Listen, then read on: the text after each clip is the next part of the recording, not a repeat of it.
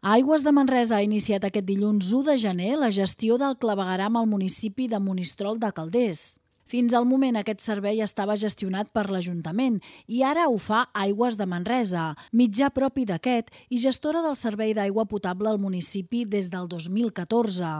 La gestió del servei de clavegaram es farà només al nucli del municipi i en queda exclosa la zona de la Masia d'en Solà.